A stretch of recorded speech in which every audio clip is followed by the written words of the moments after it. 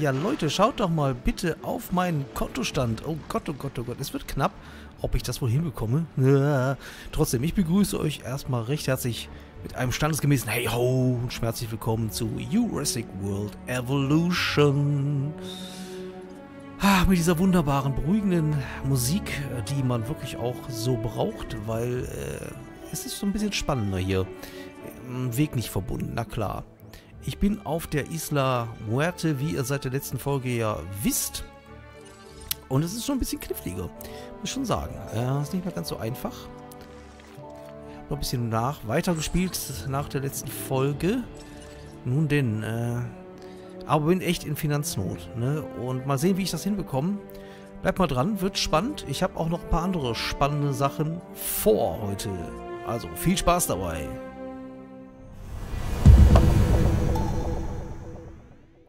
Drü, drü, drü, drü, drü, drü, drü. Das läuft noch. Ja, mir ist unterwegs der Strom ausgegangen. In meinem äh, Expeditionszentrum. Das ist schlecht. Es ist sehr schlecht. Dann bleibt alles stocken und so. Ne? Ich möchte nämlich gerne äh, noch das Genom für den Velociraptor vervollständigen. Außerdem auch noch ein Gehege für die Velociraptoren bauen. Äh, das gefällt mir hier nicht so. Da sollte eher nochmal ein Pflanzenfresser hin. Ankylosaurus vielleicht. Und ich suche jetzt mal nach einer Stelle. Vielleicht hier hinten. Ja, so schlage ich mich ganz gut. Zweite Sternchen ist angekratzt. Das ist nicht so schlecht. Bisher ist auch noch kein weiteres Unwetter aufgekommen. Ich hoffe mal, das bleibt so. Befürchte aber hier das Allerschlimmste. Aber übrigens haben wir keine gefährlichen Tiere, die unsere Besucher fressen. Ja, wo ist Ratzach hier? Ein Sturm, macht hier, Tropensturm. Was machen wir mit den Leuten? Sollen wir die jetzt mal hier reinlassen? Schutzraum öffnen. Jetzt passen da alle rein, oder? okay, direkt Alarm ausgelöst. Herrje. Äh, das ist auch schön, dass, wir, dass ein bisschen die Zeit vergeht. Da, was ist das? Ein Wirbelsturm, oder wie? Ach, ne, komm. Ich habe Angst. Ich habe definitiv Angst. oh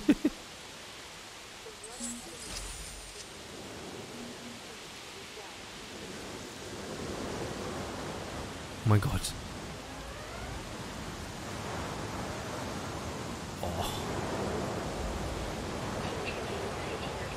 Wir könnten uns jetzt mal in den Hubschrauber schwingen. Sollen wir das mal machen? Komm, wir fliegen den Hubschrauber mal ein bisschen durch die Gegend. Durch den Sturm. Macht man doch so, oder nicht?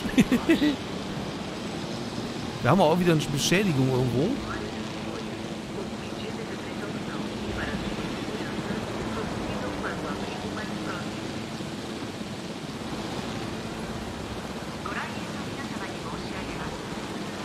Wir machen Gewinn, das ist gut. Also einen Wirbelsturm sehe ich nicht irgendwo, im Tornado.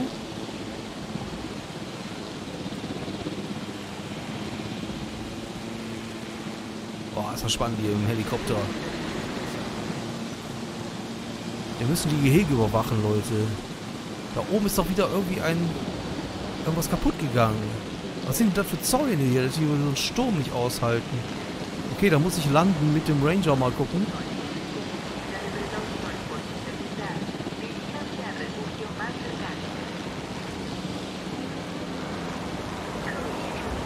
Äh. Wind. ist das cool. Oh. ja, okay, ich muss das ja nicht machen. Man landet ja gar nicht, äh, man landet gar nicht manuell. So, die letzten Leute suchen den Schutzraum auf. Ich muss gucken, wo hier was kaputt gegangen ist. Wo ist was kaputt gegangen? Äh, da oben nur. Muss repariert werden. Das Forschungszentrum und... Ach, sind nur Gebäude. Okay. Gut, die Zeichen muss ich erstmal deuten lernen. Ja, ist auch ein Gebäude, stimmt. okay, kann ich das denn jetzt wenigstens von hier aus machen? Ja, diesmal geht's. Das war am Anfang, um so ein bisschen mehr Stress zu erzeugen. Sehr gut. Puh, okay, den Sturm haben wir auch überstanden. Ich finde das super spannend, wenn da der Sturm aufkommt. Boah, ey. Geld, ja, reicht wieder für neue Expeditionen, aber jetzt wird hier erstmal repariert. Da können wir weitermachen. Komm, wir brauchen noch mehr vom Velociraptor. Und wir könnten vielleicht die Leute auch wieder aus dem Bunker lassen. Sonst werden die sauer. Die können doch keinen... Ah, komm, raus mit euch. Wir möchten uns für alle Unannehmlichkeiten entschuldigen, die während dieser unüblichen Ereignisse entstanden sind. Prima. Jetzt wieder Sturm. Alle wieder rein. Okay. Prima. Ja, ich habe bisher auch nur so ein Fastfood-Restaurant. Äh, wie komisch, die müssten eigentlich auch als Schutzraum dienen, ne? So finde ich, finde ich jetzt meine Meinung. Aber gut, äh, Gäste. Was können wir für die Gäste noch tun? Da haben wir kein Geld für. Was ist das, der Schutzraum? Das ist ein Souvenirladen. Das ist ein Kleiderladen. Dann haben wir sonst, haben wir nichts. Sonst haben wir nichts. Aber es gibt noch viele Sachen. Äh, Bowlingbahn, super. Ähm, Kleiderladen. Immer das billigste. 120, 130. Nehmen wir einen Kleiderladen. Der ist der billigste. Gegenüber. Passt das? Irgendwie hier hin? Äh, so. ist immer ein Rätselraten. Aber guck mal, das sieht doch auch gut aus. Ich, das sollte funktionieren, ne? Da ich inzwischen ja auch zwei Elektrizitätswerke habe. Da ich hatte nämlich keinen Strom mehr hier, ne? Es war überhaupt nichts mehr zu machen. So, äh, können wir mal gucken hier. Äh, leere ab, das direkt mal hier. Ausfallschutz 1 auf jeden Fall. 40.000. Und den Upgrade-Platz auch noch belegen mit verbesserter Leistung. Ach, ich wollte doch mal gucken, wie, wie viel das vorher war und wie viel das jetzt ist. Sind 68. Ah, wie, wie viel war es vorher? Weiß ich nicht. So, Forschungszentrum. Da müssen wir auch noch reingucken. Da habe ich hier auf Muerto noch nicht, äh, noch nicht reingeschaut. Ich denke mal, es gibt ja jetzt auch einige neue Dinge. Oh ja, hier im Gehege. Standardzäune, schwerer Stahl, Standardzaun. Okay, das ist gut. Das haben wir schon. Beobachtungsattraktion.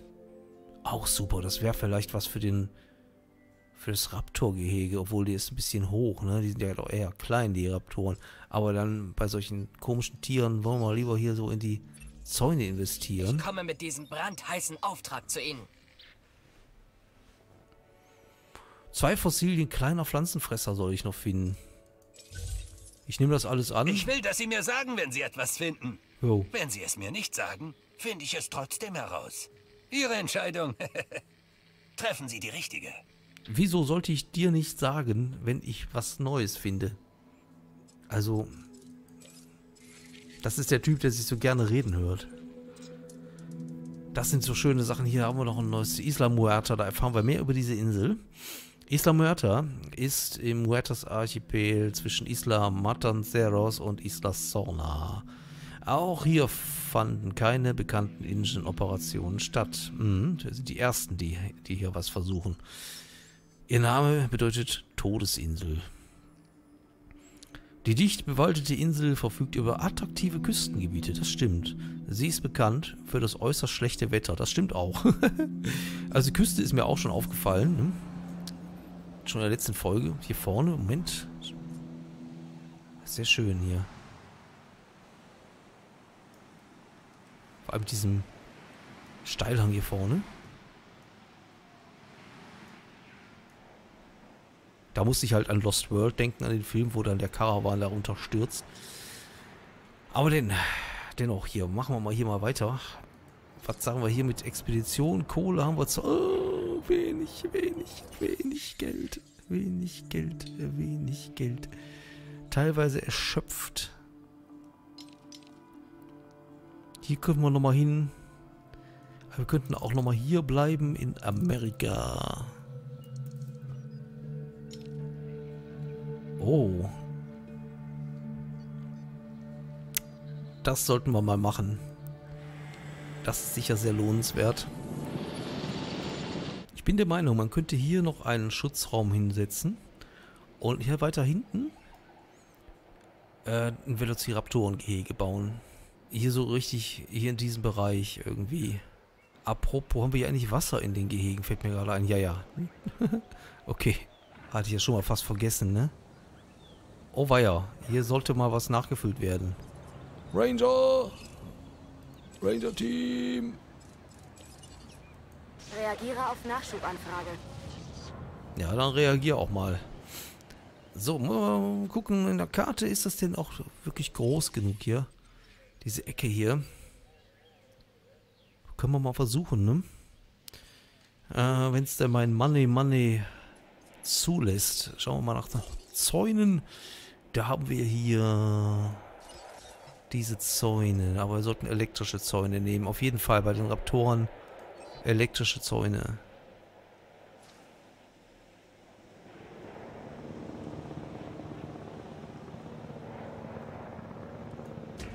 Und dann weiß ich schon, wie ich den baue. Und zwar hier so. Kein Strom, ja, ist klar. Kein Strom.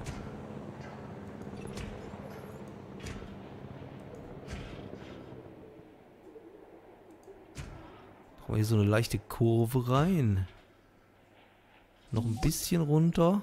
Das mag ich an Ihnen. Sie bringen Ergebnisse.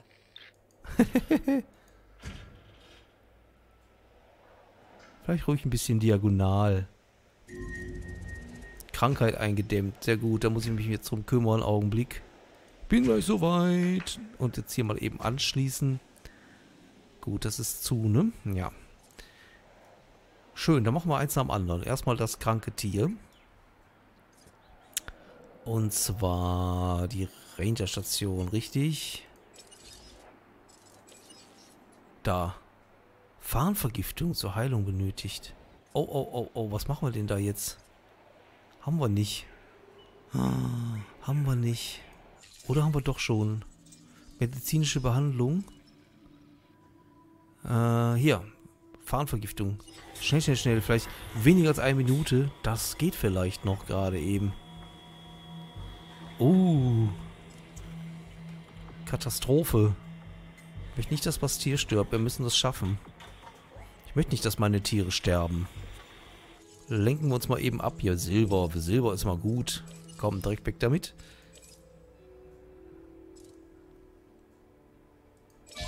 Sehr gut, das kann durchlaufen. Das ist gut, dass man das alles so durchlaufen lassen kann.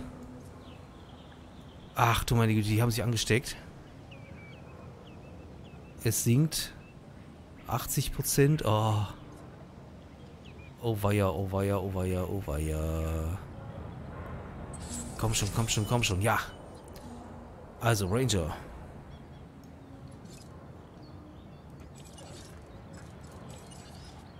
Kein Problem. Bestätige Aufgabe.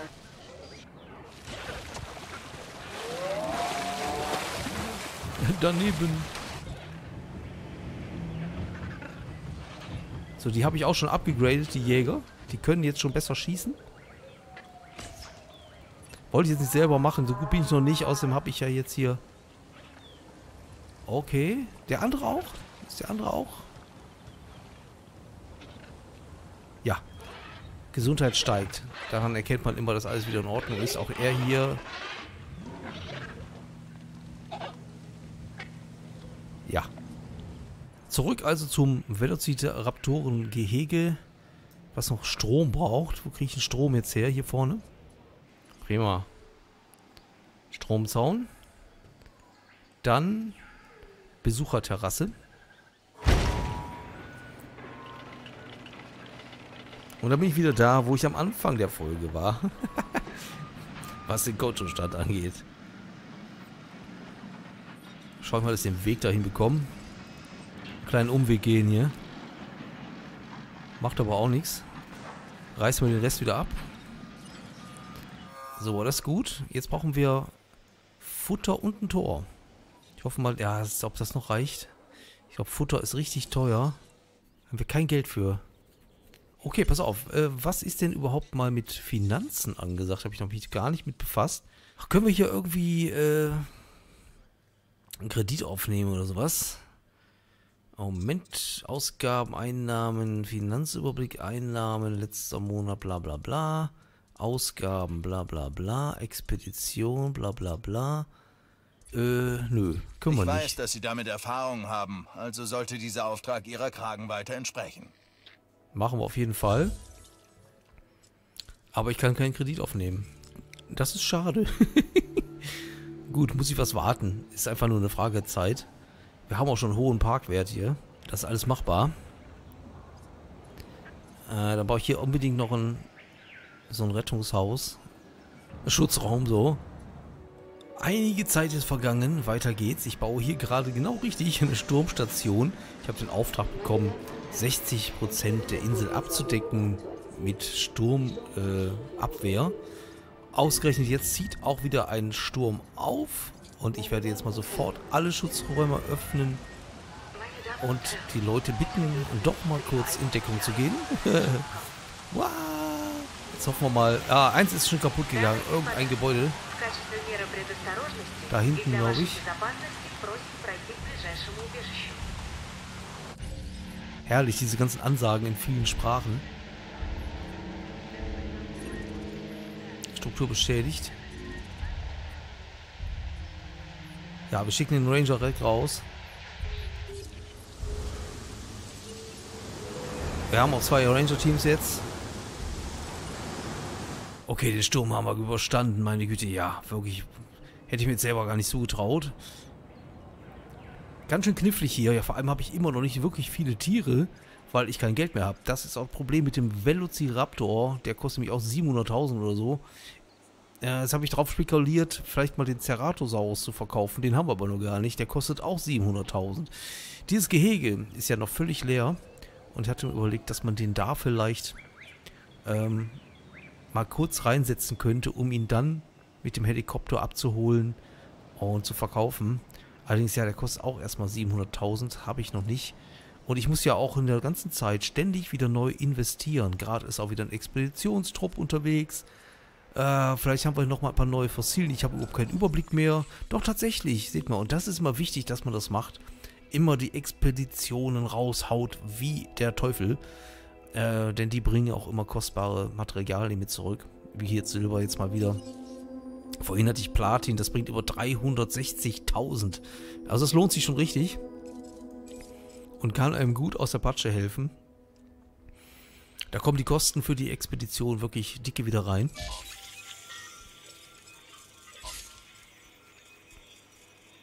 Ein Anki wollte ich mal machen. Ich hatte noch nie ein Anki gemacht. Das ist ein neues Tier. Und vielleicht da auch noch ein Triceratops rein. Und das wäre ziemlich cool. Ach, wir sind ja schon da. Da machen wir das auch direkt noch hinterher. Guckt euch das an. Der Velociraptor wird auch inzwischen richtig gut. Kommt so langsam aus dem Quark. Warten wir das noch eben ab und dann geht's weiter. Da, was sage ich denn? Platin. 360. Sehr gut. Dann noch mehr Velociraptor, Raptor, klar, der soll richtig toll werden. Siehe da, dank meiner neuesten Expedition, die wieder Platin herangeschafft hat, habe ich jetzt das Geld zusammen für den Ceratosaurus, für dieses Experiment. Äh, ja, ich weiß auch nicht, wie man den verkauft. Da stand ein Hinweis von wegen, das würde man mit dem Helikopter machen. Gut, dann versuchen wir das mal. Ich werde jetzt Ceratosaurus herstellen ausbrüten, muss man natürlich sagen. 700.000, ja gut. Mal gucken, was der auch einbringt. Also 709 kostet er. Das wird jetzt nochmal etwas dauern. So, und dann werde ich den mit der mit dem Helikopter, glaube ich, betäuben müssen. Und dann gibt es da, glaube ich, einen Schalter. Diese Gelegenheit irgendwie... ist gut und könnte der Unterhaltungsabteilung helfen. Oh, das ist auch gut also hier. denken Sie bitte darüber nach. Ja klar, machen wir alles sowieso. 100.000 Umsatz, ja, bis ich da hinkomme. Wir haben drei Gehege und vier Tiere. Wow. Falls ich leicht zu beeindrucken wäre, würden Sie es mit diesen Zahlen schaffen. Ja, mein Lieber. Das geht hier ab, ne? So, äh, ja, weil hier ist ein leeres Gehege, hier hinten ist ein leeres Gehege. da sind alle vier Tiere drin. Gut. es ist soweit. Was wir nicht kontrollieren können und was wir bei diesen Kreaturen akzeptieren müssen. Manche haben einen Jagdtrieb. Ja, das ist jetzt schon der Wink mit dem Zaunzahl. Das ist Zaunpfahl. Definitiv.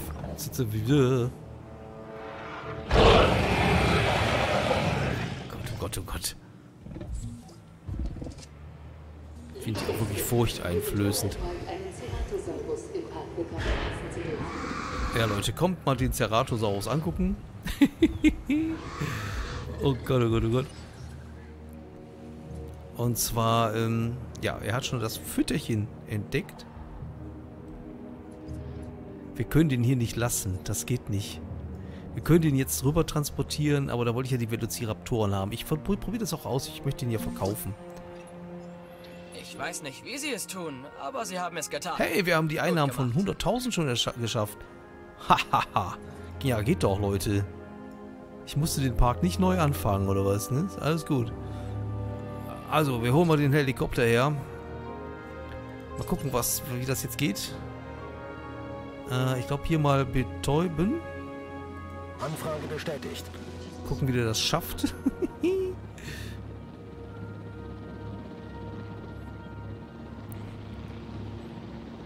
Erst betäuben und dann den anderen Helikopter holen, den Transporthelikopter.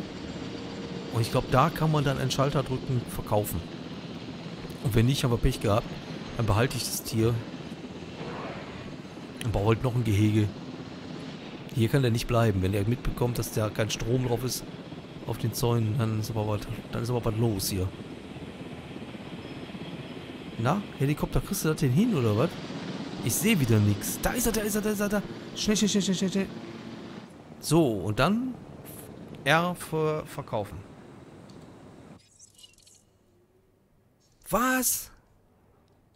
Ey, das ist ja Verlustgeschäft. Das ist ja Verlustgeschäft. Aber gut, machen wir trotzdem. Ich will jetzt wissen, ob das, ob das so funktioniert. Also er kommt jetzt einfach ran. Oder wird er verkauft? Und dann sollten wir ungefähr eine Million auf dem Konto haben. Boah, ich dachte, ich kriege da jetzt das Doppelte. Das bringt ja überhaupt nichts. Wieso soll ich die verkaufen? Nagelneues Tier. So alte Dinger, die können wir höchstens verkaufen. Die schon bald abkratzen. So, tschüss. Klappt das denn jetzt? Ja. Ich finde das gut. Sehr interessant. Haben wir's? Ja. Ich habe gehört, Sie haben sich bei diesem Verkaufsauftrag selbst übertroffen. Naja, kann man jetzt nicht so Falls sagen. das stimmt. Gute Arbeit. Ja, wenn ich ehrlich bin, war ich mit dem Deal jetzt nicht so einverstanden, aber gut. So ist das manchmal im Business, ne? Business ist Business.